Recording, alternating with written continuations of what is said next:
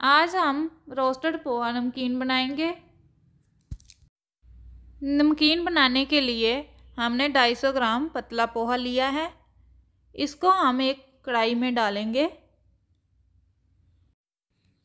और इसको रोस्ट करेंगे। हल्के हाथों से चलाते हुए हम इसको अच्छे से भून लेंगे। चार से पाँच मिनट हो चुके हैं। हमने इसको अच्छे से भून लिया है।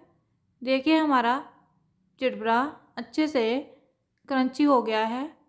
अब हम इसको एक बॉल में निकाल लेंगे।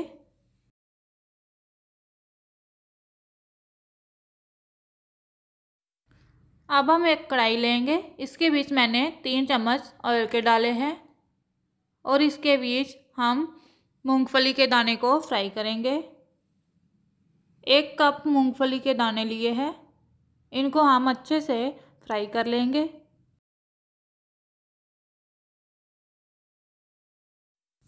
मूंगफली हमारी फ्राई हो चुकी है। अब हम इसके बीच बादाम डालेंगे। मैंने बीस बादाम लिए थे। इनको मैंने टू पार्ट में कट कर लिया था।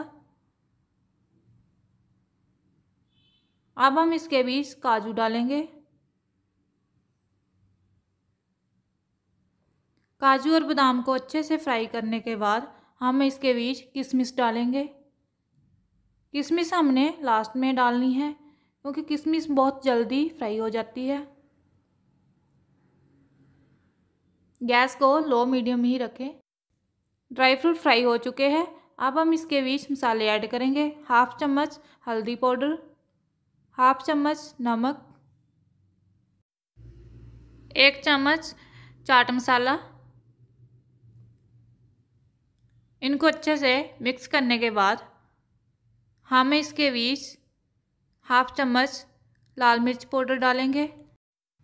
अगर आप तीखा खाना पसंद करते हैं तो तभी डालें इसको, नहीं तो आप इसको स्किप कर सकते हैं। हाफ़ चम्मच काला नमक लिया है।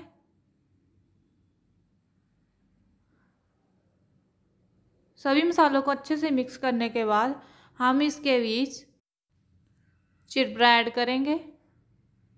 चिरबरा, हमने रोस्ट करके पहले रख लिया था।